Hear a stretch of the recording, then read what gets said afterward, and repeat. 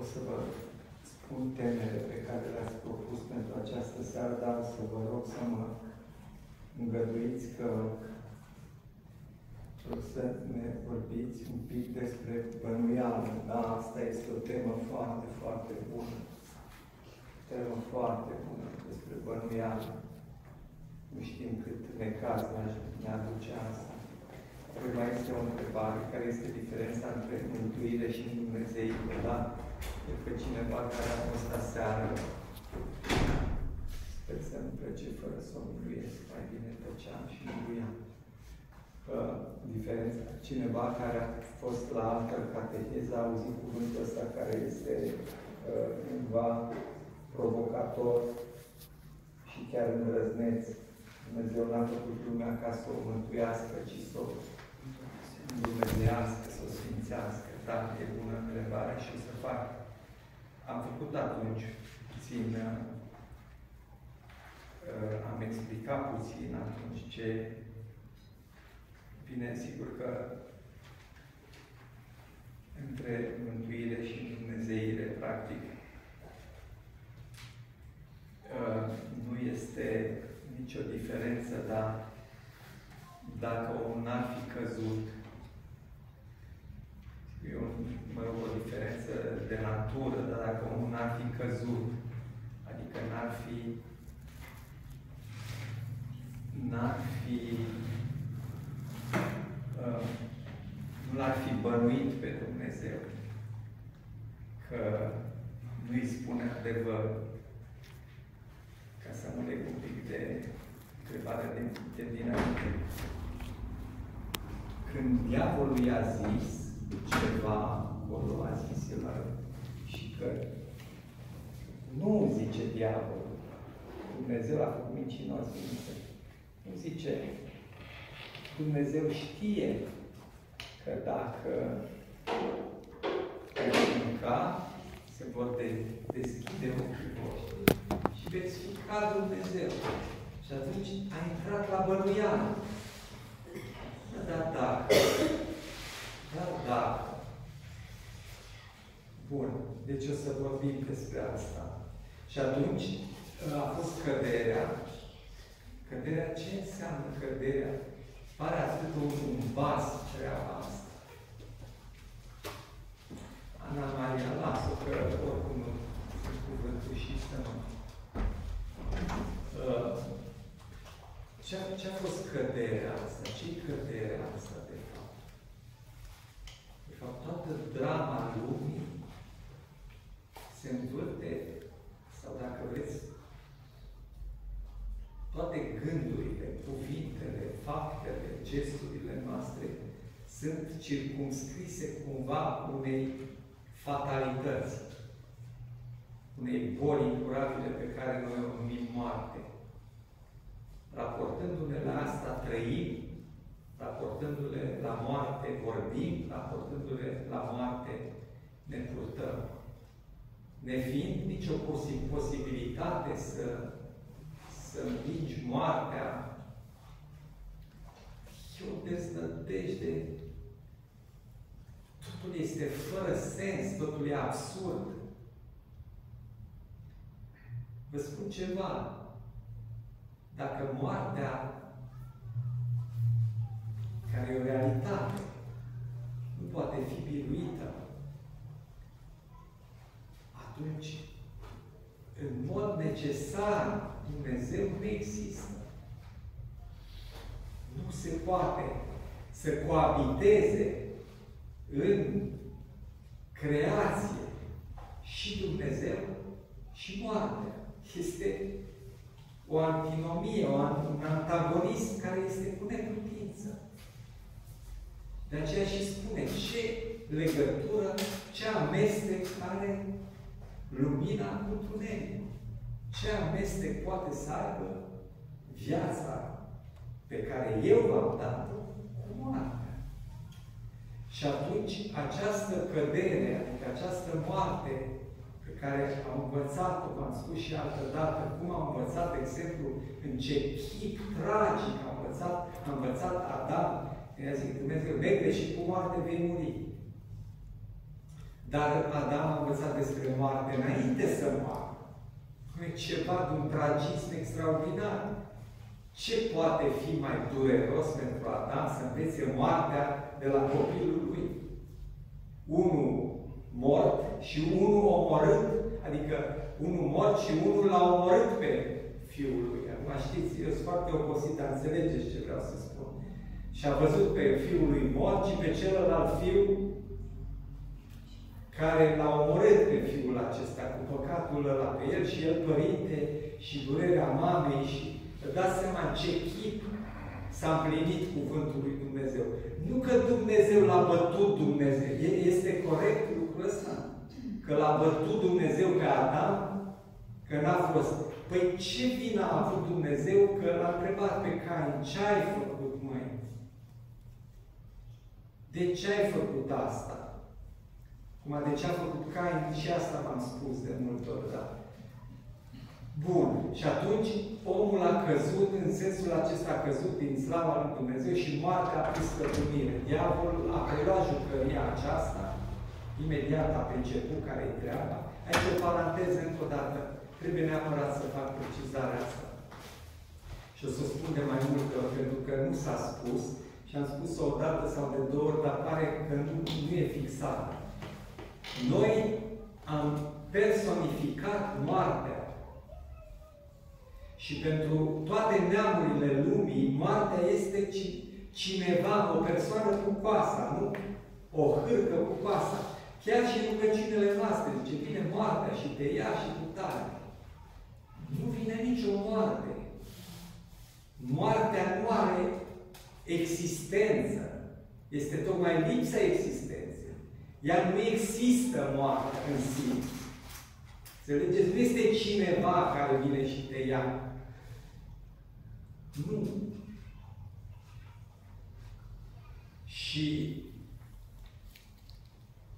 această, deci moartea fiind ca o lipsă a vieții, de fapt, căderea lui Adam este o, o, o s-a lipsit de harul lui Dumnezeu, de slava lui Dumnezeu, care, sigur, dă viață, care ține în viață, cu împărate ceresc, nu? Ca dădătorul de viață, toate lucrurile astea le știm.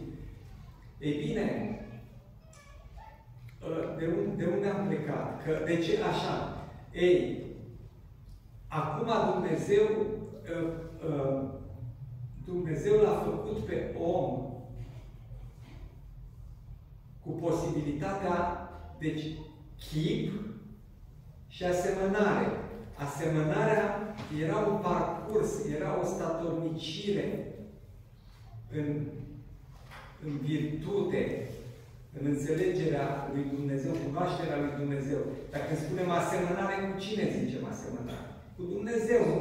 Pe această asemănare cu Dumnezeu înseamnă în Dumnezeire.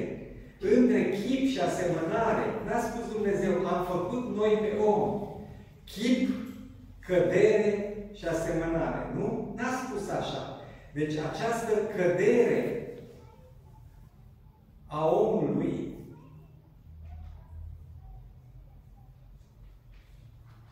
cunoscută de Dumnezeu de altfel,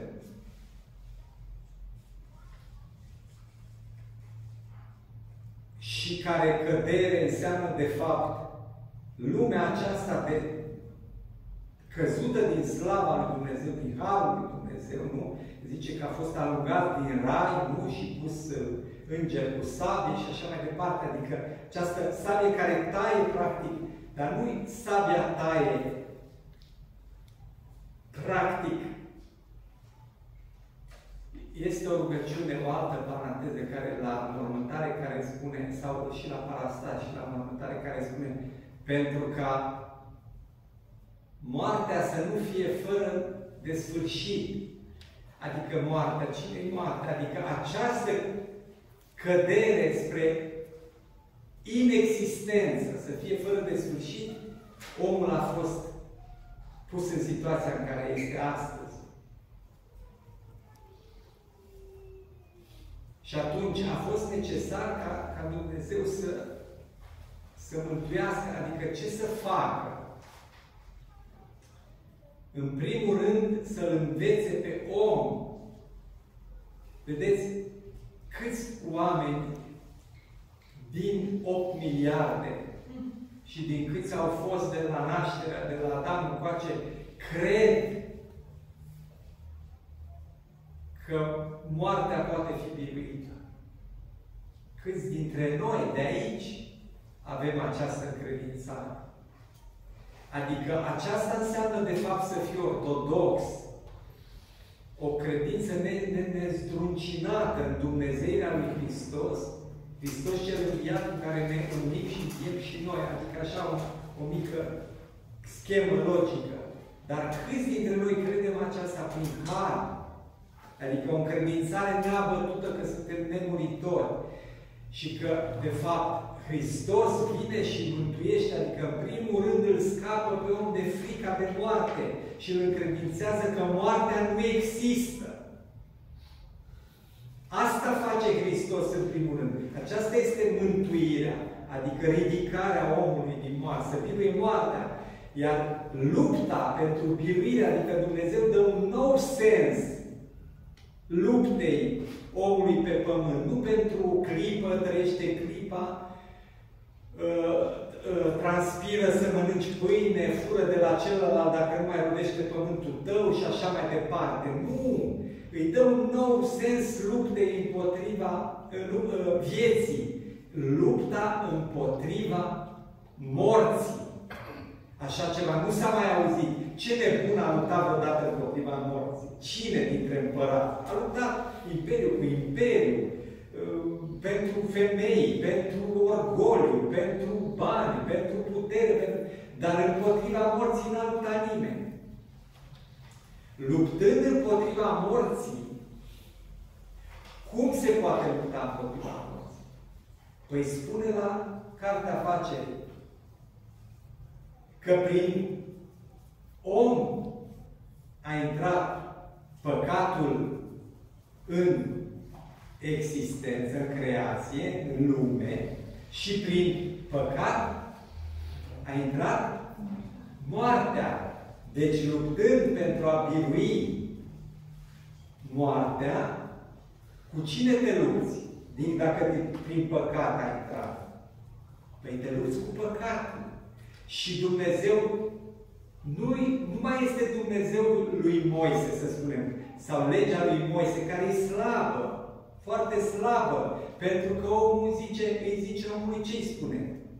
Nu face aia, nu face aia, nu face aia, altă, că te bate Dumnezeu, te trăznește Dumnezeu, nu ai să ai cultură, nu să ai... totul se lipește de, de viața aceasta. Păi dar de ce să fac asta dacă la sfârșit mă bagă în cimitir? Uite, prostul ăsta, Doamne iartă-mă, dar ca să înțelegeți, zicea tâlharul de stânga. Toată viața lui a fost cinstit, corect, a apărat legea, n-a furat, a vindecat, a cu tare, cu tare, și acum uite, e aici lângă noi. Asta era legea lui Moise, dată lui Moise de Dar preoții și prorocii și cei și îngerii și așa mai departe, le-au tâlcuit, dar iudeii o țineau legată de pământ. Cum o ținem și noi de altfel. Și vine Hristos și spune, stați un pic, ca este o umbră doar, o pregătire. De fapt, acele legi, acele porunci, care nu mai sunt, uh, sau trebuie, trebuie înțelese în, în sensul adevărat, de fapt, sunt o luptă împotriva păcatului și această luptă împotriva păcatului te ajută să vii moartea. Ori mântuirea este în primul rând de această frică. Tu poți să mai lupți. De ce ar lupta un om cu păcatul? Spuneți-mi, de ce ar lupta un om cu păcatul în afară de frica de lege? Dacă îl, îl sancționează, în afară de rușinea, nu știu, socială. De ce ar s-ar pune ceva pe cruce? De ce ar face cineva, adică de ce ar iubi cineva vrăjmașul? Cum ar fi cu putință așa ceva dacă la urmă mori? Ei vine Hristos și spune nu. Uite cum e. Hristos a înviat. Și de aici, de la Hristos a înviat, de fapt, aceasta este mântuirea. Hristos a înviat. Dar aceasta dă posibilitatea omului ca să aibă nădejdea, încredințarea că dacă Hristos n-a înviat, zadarnică este toată propovăduirea și credința ta și totul e fără sens, spune Sfântul Apostol Pavel. Dar Hristos a înviat, iată, a mântuit de moarte, a omorât moartea. Dar asta n-a însemnat nimic. Spune Sfântul, uh, uh, Sfântul Arsenie Papacioc. Spune așa, Doamne, iartă-mă, zice, uh, a înviat morți, a vindecat ori din naștere, dar nu s-a mântuit nimeni. Doar pe cruce Hristos era bagiocorit și nu știu ce, vai de capul tău, dă-te jos și nu știu ce, și dracul se tânguia. Doar pe cruce. De ce? Că moarte, el simțea deja durerile morții, să spunem așa, pentru că avea să spună cu moartea pe moarte ca călcat. Hristos a biruit moartea. E, aceasta este faptul că Hristos a înviat, aceasta e nădejdea, da? Mântuirea. Cum s-ar spune în, în franceză? Salut. Și în, în engleză, cum s-ar spune în engleză? Frate, cum s-ar spune mântuire? Redemption. Nu, nu, nu. Cum? Salvation. Vedeți? Pe când, pe când uh, în Dumnezeire înseamnă altceva. Corect? Deci când spune, spune mântuire, nu? Se referă la, la o salvare. E salvat de ce? E salvat de moarte. Moartea nu mai există. Potențial pentru toți oamenii din lume.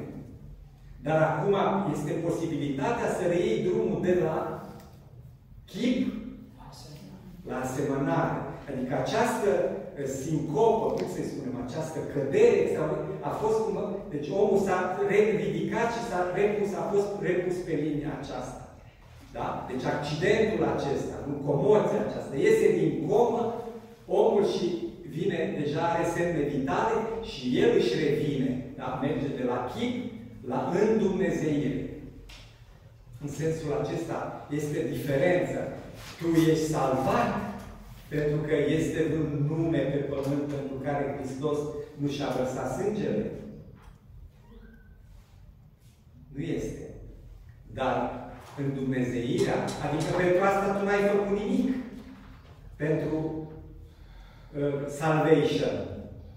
S-a pus Hristos pe cruce. Iată, uh, Hristos uh, se dă pe sine, nu? Zice, atât a iubit Dumnezeu lumea, încât pe unul născut Fiul Său l-a dat la moarte pe cruce, ca omul să aibă viață veșnică.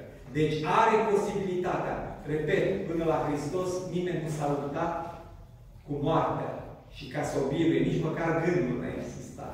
A, că omul căuta în fel și chip să-și facă o piramidă și să veșnicească acolo bovaverile și plăcerile și ce îi mai puneau ei acolo și acum la indieni.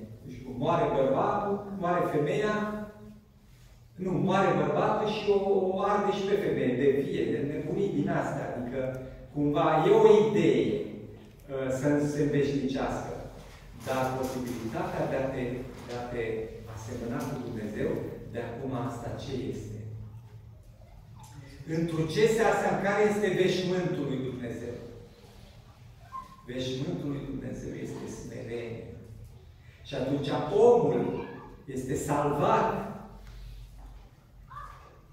Potențial, moartea a fost bine. Nu, unde este moarte? Bolul tău. E mântuit om. E salvat. Moartea nu mai există. Moartea a fost biruită. Nu te mai poate speria nimeni cu moartea. Nu, nu mai există. Hai să spunem așa, deja am o bănuială că moartea nu mai are ultimul cuvânt. Am auzit ceva că creștinii, nu ceva vor fi spus romanii sau păgânii în primele secole. Măi, ăștia, ce spuneau în Areopag uh, grecii, lui uh, sau lui Pavel, când le-a predicat Pavel, vă dați seama. Și de, E Pavel la început și le-a spus, oh, sunteți foarte înțelepți, văd că slujiți zeilor, e așa. Și undeva acolo era un, un pedestal care era și scria zeul necunoscut. După ce a lăudat, a făcut știu ce, e, despre ăla vreau să vă zic ceva. Pentru că ăla a biruit moartea și că moartea nu mai are putere. Și atunci au plecat toți și au zis, ani, până aici. Dar, cine sunt greci? Și astăzi, și nu știu ce, adică vorbim de cum au și-au însușit ei și toată filozofia greacă și toată, toată, uh, cum să spun, cultura lor, tot elenismul lor, care așa ajunge Bizanț. Nu? Bun. Uh, până la urmă, cu Roma și așa mai departe, că se prea unii de la alții. Deci vreau să spun, grecii, vă chipuiți câți greci avem uh, uh, în, în calendare, în, uh, câți sfinți, câți, în sfârșit. Dar ei primul lucru au spus, filozofii, adică acolo, uh, în Agora, cum, cum am zis acolo, că se chema? Areopag. Acolo era o piață cu tarabe. Și pe tarabele, bine, închipuiți tarabele puse, și pe tarabele acelea erau școli filozofice. Și astăzi venea unul, nu știu, hedoniștii, nu știu, rei, și începeau să spună, fiți atenți! Și făceau un sistem filozof, de aia rămâneau așa în coadă, extraordinar. Peste o săptămână veneau alte, nu știu, uh, care e cel mai mare filozof? Cu sâr. Socrate. Socrate. Veneau ăștia, discipolii lui Socrate. Fiți atenți! Știm că nu știm nimic. Extraordinar, foarte frumos. Dar nimeni n-a venit vreodată să spună, vreau să vă zic ceva despre Dumnezeul acela care a biruit moartea și că este Fiul lui Dumnezeu turbat și a biruit moartea și moartea nu mai există.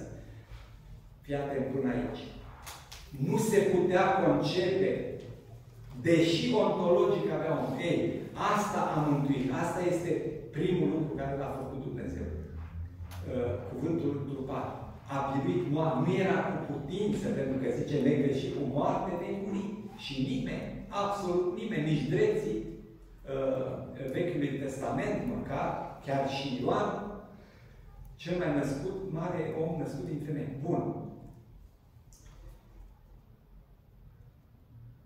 Și vă spun ceva. Dați-mi voie să fac, că mi-a venit un minut acum. Mi-am pus problema, am, am pus problema așa că, că Dumnezeu, că Dumnezeu putea cuvântul, adică Iisus Hristos, ca mama Lui să nu vadă execuția și tot supliciul acela, cumva ca Dumnezeu să ia viața Înainte de momentul ăsta, cu o săptămână. Dar moartea nu era biruită. Ați înțeles? Maica Domnului vedea ceva infinit de negândit, de o, de o, de o natură negândită mai rău decât chiar supliciul ăsta care e cel mai rău. O mamă să-și bată și toate celelalte. Asta e gând care mi-a venit acum și mi-a răspuns, că m-am tot întrebat, e Dumnezeu. Bine, mai e un răspuns legat de iubirea ei față de oameni și că este un sens în suferință. Că altfel spunea, stai puțin așa, adică ăla e prieten, îl ia, pe ăla lasă, pe ăla nu știu ce. Dar moartea nu era biruită. Și atunci a fost necesar așa. Ei, cu moartea biruită, poți tu să mai spui ceva? Pentru că să știți, faptul că nu era Hristos întrupat, pentru cei care sunt, erau în iad, drept și mai puțin drept, este un motiv de judecată.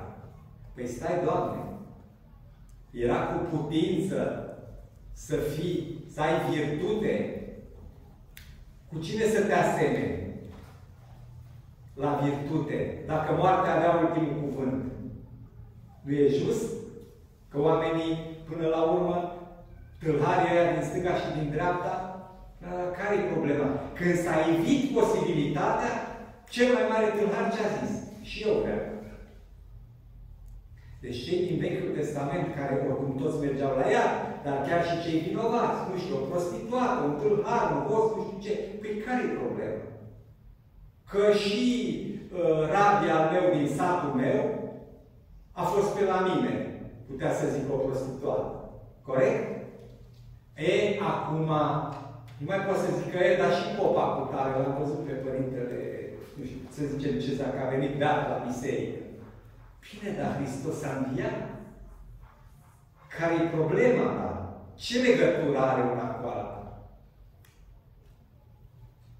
Bun, și atunci uh, învierea lui Hristos îți dă posibilitatea, pe de o parte, să lupți, pentru că tu te unești cu Hristos cel înviat și ai puterea aceasta, puterea vieții, adică te, te, te hrănești cu antidotul nu? pentru această boală care este, este un trup înviat în care moartea nu mai este. Așa cum noi am luat trup din trupul mamei și mama a luat trup din trupul mamei ei și mama ei a luat uh, trup din, din Eva și prin trupul ăsta pe care l-am luat eu din mama și așa mai departe până la Eva, am luat moartea, corect? Așa s-a, nu? Așa s-a dus moartea. Așa a venit la noi moartea, nu? De la mama am luat moartea, nu? Și mama de la mama ei. Și mama mamei ei de la Eva, nu? Căzută. Zic Adam și Eva, da? Acum. Că de mamă vorbeam. Ei, tot așa, eu care sunt bolnav, se face începătură celor vii. Adică este invers procesul. Eu mă împărtășesc cu trupul, mă nasc din nou. Mama aceasta este acum biserica, care mă naște din nou și eu mă împărtășesc din trupul mamei mele, care nu mai este ținută de moarte. E corect? Asta este teologia noastră ortodoxă. Ei, odată împărtășindu-mă, eu am încredințarea că moartea a fost biruită. Și asta ce îmi dă? În primul rând, putere să lupt împotriva păcatului, pentru că am încredințarea că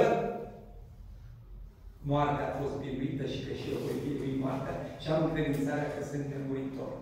Iar asta, lupta aceasta, de fapt mă califică, mă repune pe această, cum se numește în jurul unei traiectorie această traiectorie de la chip la asemănare, adică la Dumnezeire, nu era cu putință în Dumnezeirea după cădere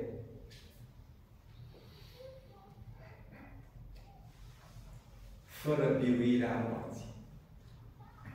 Era cu putință în Dumnezeirea cum? Era cu putință în Dumnezeirea și asta s-a cerut de la Adam. Nu, e, nu, nu era o fatalitate că el, el uh, nu va asculta. Asta că a văzut Dumnezeu, altă discuție. Nu era o fatalitate, în sens de un mod necesar, nu s-a putut să ajungem la mântul asemănare decât dacă am fi primit și moartea. Asta nu. Asta e o greșeală și sigur că asta ne pune în cârca lui Dumnezeu uh, o vină. Iertați-mă că am zis că tac, dar uh, dacă mi-a dat Dumnezeu, v-am zis un cuvânt. Și atunci, noi, practic, acum, nu ne mai, dragii mei, noi nu ne mai luptăm să biruim moartea. Noi ne luptăm să ne Dumnezeu că moartea a fost biruită. Pentru cei care nu știu că moartea a fost biruită, Hristos este salvatorul, mântuitorul, nu știu ce. Dar pentru noi cei care ne, ne unim cu El. Nu? Noi de acum nu mai cerem ca milogii că da, acum dacă tot ai înviat și noi vom învia. Nu. Acum treaba noastră a creștinilor și el spune, de aceea s-a ajuns la martiri și la asta. Că altfel creștinii uh, o duceau cel mai bine, nu-i așa? Ce problemă mai avea dacă erai creștin? De răsturnată puțin față de logica omenească. Sigur că sunt multe aici și cum se poate smeri omul pe sine ca un copil. O, oh, Doamne! Nu cred că m-ați întrebat asta. Știți, a fost întrebată un, un, o femeie care suferea de o boală incurabilă, în care a suferit toată viața, bine, incurabilă și suferă și astăzi de boala aceea. Și la boala aceea, una din uh, răsăturile boli sau un, un simptom, sau cum se spune, una din trăsăturile esențiale ale bolii este că uh, bolnavul nu se recunoaște bolnav și este refractar, nu e compliant, uh, respinge uh, uh, diagnosticul și, bineînțeles, respinge tratamentul. Și această femeie care suferea de boala aceasta, într-o formă sau alta, Dumnezeu a miluit-o, s-a luptat, nu știu, ceva poate fi acolo, chiar evreică, din familie de evrei, uh, a ajuns chiar profesor universitar cu boala asta atât de grea, extraordinar. Și o întreabă cineva într-o conferință, că a ținut conferințe, legat de asta, pentru că boala asta, mă rog, e foarte, foarte rău famată, cu tot felul de la... Și întreabă cum uh, s-ar putea uh,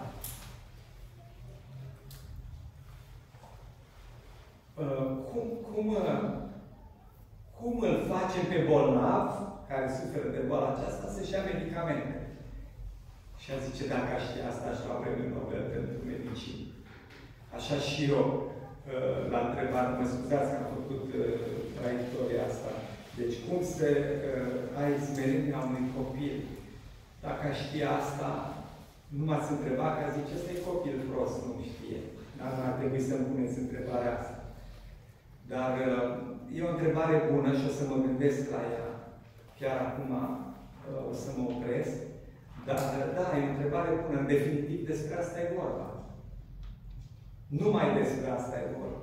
În esență, uh, ne aflăm aici și creștini și în viață și în biserica uh, strict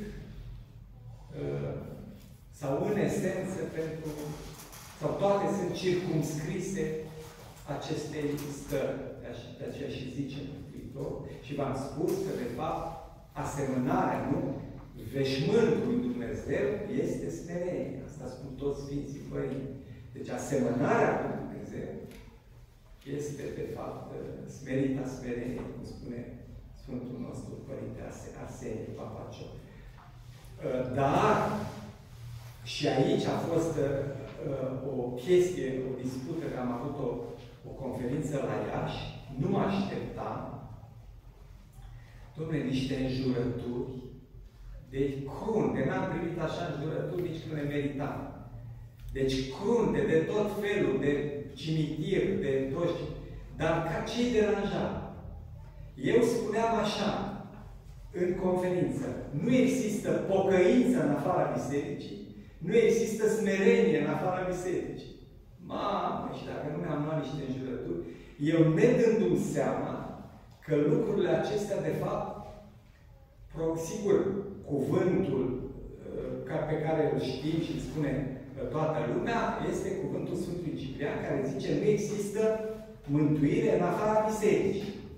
Da? Și vorbim de 16 veacuri sau câte sunt de atunci. Ma 100 de ani, dacă greșesc, nu vă supărați pe mine. Ce mai contează dacă o să fim veșnic vin. Dar, uh, ducându-mă mai în adâncime, am zis, cuvântul ăsta e, e greu de purtat. Și până la urmă e și greu de înțeles, chiar pentru, de multe ori am avut uh, discuții pe tema asta, chiar cu ortodoxi. Hai, domnule, nu știu ce. Pentru că înțelegeau greșit în sens uh, juridic uh, cuvântul. Dar mi-am dat seama că nu poate exista pocăință în afara bisericii. Deci, chiar mă interesează care este cuvântul în, în engleză pentru pocăință. Repentance, Da, dar nu, ceva îi scapă.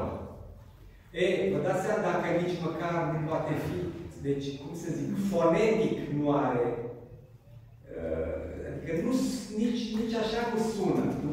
De, uh, și atunci, este evident că n-am inventat noi cuvinte. Adică noi avem cuvinte mai deștepte ca americani sau ca englezi. Sau... Dar cuvântul pocăință, Cuvântul metanoia, cuvântul, este un cuvânt care este uh, susținut de har. Deci, sensul cuvântului pocăință este dat de har, nu de fonetica lui, nu de, uh, cum se cheamă, uh, alcătuirea lui, sau cum, cum se spune, de unde pornește, de, de uh, etimologia cuvântului. V-am spus, am nisip în creier. Deci nu, nu e dat de etimologia cuvântului, nici de rădăcină, nici de explicații filozofice, cum sunt astea, ca să demonstrăm că suntem daci. Ați văzut, se forțează, bun, foarte bine, minunat. Dar ele sunt niște, niște alcătuiri omenești, niște... Uh, dar când spui pocăință, când spui metanoia, când spui smerenie, spui schimbarea minții, aceste cuvinte sunt explicate, în, adică au rezonanță în om, numai dacă sunt traduse de har. Și atunci de aici a venit cuvântul meu, că nu există pocăință în afara bisericii, dacă nu există har. Există un har proniator, dar nu există har sfințitor. Da? Harul proniator care ține lumea, nu? Ține lumea, stelele, viața până la urmă. Nu se știe ce cu viața asta. Sau ține Harul lui Dumnezeu. Ce este Harul până la urmă? Această manifestare de, a, a ființei lui Dumnezeu. Ființa lui Dumnezeu a spus, nu El, Sfântul, că este iubire. Deci, manifestarea iubirii lui Dumnezeu nu este har. Dar harul ăsta, acesta este și sfințitor. Ori harul care ține lumea, pe japonezi, pe chinezi, pe tâlhari, pe bandiți, pe mine, acesta nu este harul sfințitor. Harul sfințitor este cel cu care conlucrezi spre sfințire, spre asemănarea cu Dumnezeu. Iar numai acesta te poate duce, că aici am să ajung, numai acest har te poate aduce la măsura de copil. Da? Nu, nu se va vorbi nicăieri în afara bisericii în afara celor care caută, care au simțit, ha, nu se poate, nu se poate vorbi că să ajungi ca un copil. Se zice că ai dat în mintea copiilor. Asta e o altă chestie. Dar să ajungi copil, adică tu să fii adult, dar să ai gândețe și bunătate și să n-ai bănuială. Un copil nu are bănuială. M-am spus și altă dată, îi dai ciocolata, el mănâncă hârtia, o vede colorată și frumoasă, și dacă cineva zice, mănâncă pe cune, el o mănâncă. El o vede pe mama căzută în șanț, bețivă, care l-a lăsat la orfelinat și nu știu ce, și o ia și o pupă și mama și mama. Nu? E un copil de la orfelinat pe care l-a luat, mama e prostituată și decăzută din drepturi de, uh, cum se cheamă, protecția copilului și ea e și bețivă și drogată și nu știu ce. Și să spunem că prin, prin uh, un concurs de împrejurări, copilul ajunge să, nu știu, vizitează mama sau poate să o vadă pe mama. Ce la fulge, aleargă și o pupă și mama și mama și curg lacrimi. El n-are nicio bărbială. Nu? Ei, vedeți dacă, dacă așa se manifestă harul, dar acolo nu este discernământul încă format. Și de aceea, acela e harul proniator, iar Harul Sfințitor este cel cu care conlucrăm ca să ne sfințim, să ne Dumnezeu. Și asta nu poate fi decât veșnitul lui Dumnezeu, asemănarea cu Dumnezeu, adică smerita smerenie. Asta înseamnă pocăință. Am spus și altă dată. Ce îndrăznesc eu, dar n-am ce să mai zic, aici am ajuns, știți? Aici am ajuns, ca și cu cancer, știți? O să întrebați, Cineva că de ce nu uh, dă Dumnezeu un medicament să vindece cancerul? În primul rând că a dat un medicament să vindece moartea. Mai mult decât. Dar uh, zice, poate că a, a trimis câteva sute de milioane sau de oameni care vor fi avut mintea și uh, știu, misiunea de la Dumnezeu să descopere un medicament împotriva cancerului. Dar l-ați omorât în pântece sau mai știu eu ce. Știți? Sau l-ați omorât cu un telefon sau pornografie sau mai știu eu ce. Ce să mai inventeze ăla dacă stă de la 7-8 ani pe telefon și i-a dat mama telefon, joacă pe gigel. Și eu, eu sunt mama, prima mamă care a făcut asta. Ce, ce mai întreb pe Dumnezeu, Doamne, de ce la Grigorie Alexandrescu atâta cancer de la copii, la Marie Curie, la tare, tare. Să fim serioși. Și atunci rămân acestea trei. Pocăința, plânsul și smerenie. Da. Sigur că Sfântul Apostol Pavel este cel care e trâmbița lui Dumnezeu. Dar tocmai asta ne-a dat posibilitatea ca să ne legăm de El. Este o, o parafrază, e o copie. Sfântul Apostol Pavel, cuvintele acestea care sunt, de fapt, pentru, pentru viața, viața duhovnicească, care și înseamnă uh, uh, cuvântul acesta. Deci, pocăința, plânsul și smerenia, Părintele Arsenie le-a spus într-un singur cuvânt. Iată. Poate un ateu să spună lui Dumnezeu iată? E absurd. Știți? E absurd. Poate să zică unui coleg, unui cutare, unui cutare, dar nu poate face pocăință, nu poate să plângă și nu se poate avea smerenie, pentru că fără har nu se poate așa ceva. Și acesta este în Biserica cea bună. Are sens să știți că Biserica Ortodoxia, că Biserica Ortodoxă este Biserica, are sens, uh, dincolo de faptul că simțim asta, dar are un sens foarte, foarte exact. Uh, este un sfânt american care, care, care a ajuns la foarte frumos, da? e sfânt. Cum îl cheamă Sfântul Roz, Serafim, Serafim Roz, da. Serafim Roz, așa ajunge. El, el n-are, nici mai vorbește despre acela, Domnul n-are rost să mai vorbim.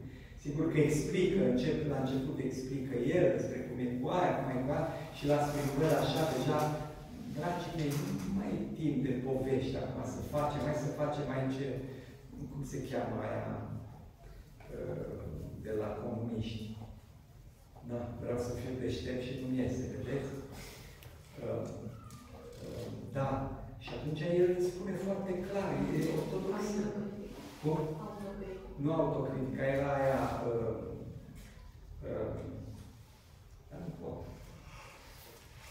Uh, și atunci el spune foarte clar, nu are sens să mai uh, nu are sens să mai vorbim lucrurile acestea, că de ce tare, că de ce nu e reîncarnat, că de ce. Adică, la un moment dat se vede că a obosit. Și ea că e cuvântul ăsta și zice, nu mai e timp. Gata, nu mai e timp pentru asta. Nu e timp pentru meeting, nu e timp pentru lovituri de stat, pentru revolt, nu mai e timp de așa ceva. Eu v-am zis ce am avut de zis și eu mă duc. nu mai am timp, știți? Și îți dai seama de la Sfinții aceștia de, de lucrurile astea, până la urmă, dacă ești interesat de un lucru, îți dai seama că mafă plutăți. Și cea mai ușoară care dragii mei, cea mai sigură, este asta. Pocăința, plânsul și smerenie. Și asta te face copii, familie.